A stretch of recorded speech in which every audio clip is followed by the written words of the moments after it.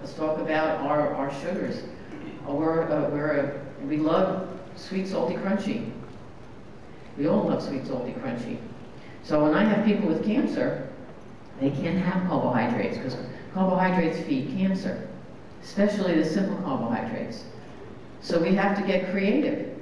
What else can we make that sweet, salty, crunchy? Well, you can take shredded cabbage, put garlic powder on it and sea salt, and munch that, and they do.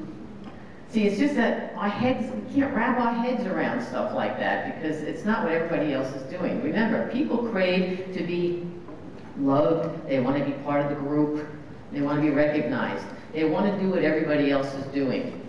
So you kind of do what everyone else is doing and you think that that's going to be, that's, that's it for you, you're going to be healthy. Not so.